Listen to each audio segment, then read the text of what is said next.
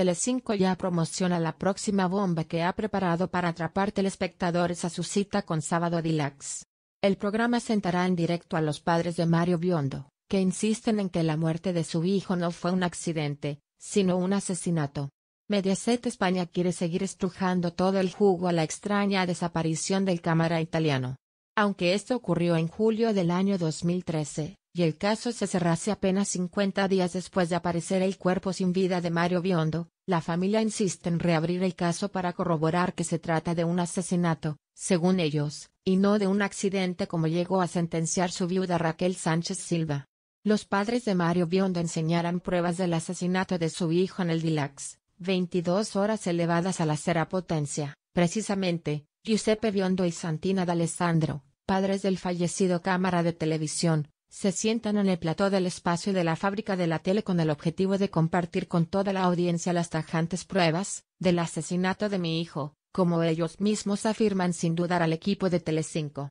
Es algo que ya han tratado en otros programas como Todo es Verdad, que también abordó el caso de la muerte de Biondo, así como Sálvame, donde se llegó a orquestar una simulación de la autopsia del fallecido, ya que, según subrayan, hubo una serie de errores que han podido avivar la reapertura de la investigación.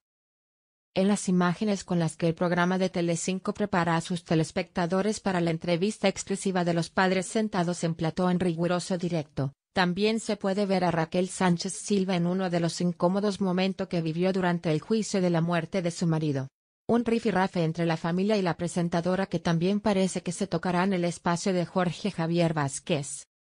No fue un suicidio y mucho menos un accidente. En ninguna parte consta que fuera un accidente, aseguraba el padre de Biondo Arristo Mejide durante el especial dedicado a la extraña desaparición del cámara de televisión que, al menos en Italia, no se ha terminado de cerrar, precisamente por anomalías en la tercera autopsia, según cuenta el juez Roberto you.